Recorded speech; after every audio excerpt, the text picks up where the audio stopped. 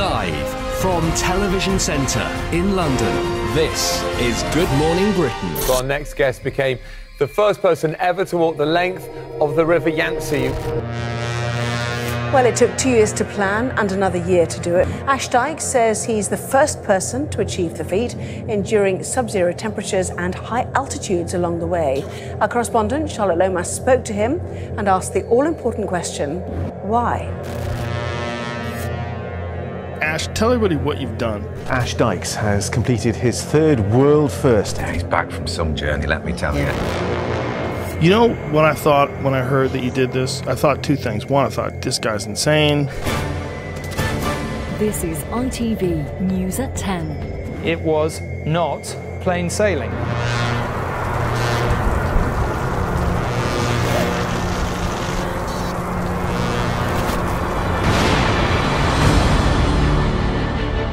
A lot of people deemed this expedition as impossible. Every day was possible. Through hard work, sheer determination and grit of just keep standing up and pushing forward, anything can be achieved. I always say that the locals can make or break a journey, and the locals on Mission Yangtze certainly helped to make it extra special. Along the way, I partnered up with amazing organisations and environmental companies that are helping to protect and preserve the natural environment along the Yangtze River.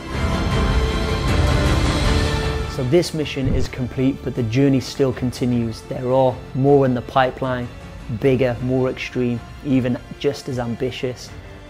We can't always be motivated, but we can be disciplined. Epic achievement. Yes, thank um, you. Let's hear it for us, shall we?